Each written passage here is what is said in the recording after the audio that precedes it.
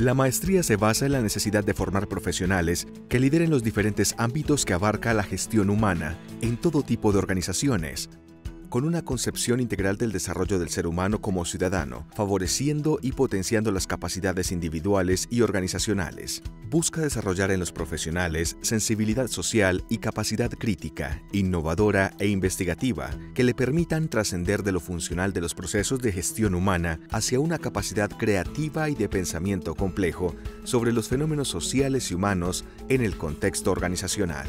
La maestría en gestión humana es una maestría en modalidad de profundización que tiene tres dimensiones, humanista, de gestión y científica.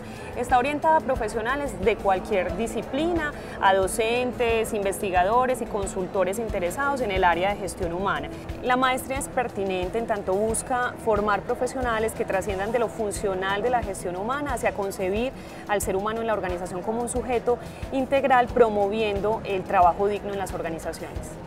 La maestría es de corte humanista, integral y científico, que no solamente busca que las personas se desarrollen como seres humanos integrales que son, sino que también trasciendan con sensibilidad social, espíritu crítico y creativo.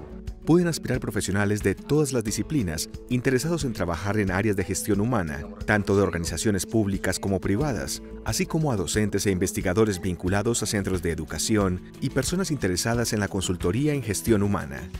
El egresado de la maestría en gestión humana podrá entonces fungir como gestor en áreas de gestión humana en las organizaciones, pero también eh, podrá desarrollar docencia, investigación y consultoría en organizaciones públicas y privadas en el área de la gestión humana. Consulte más información sobre este y otros programas en www.uda.edu.co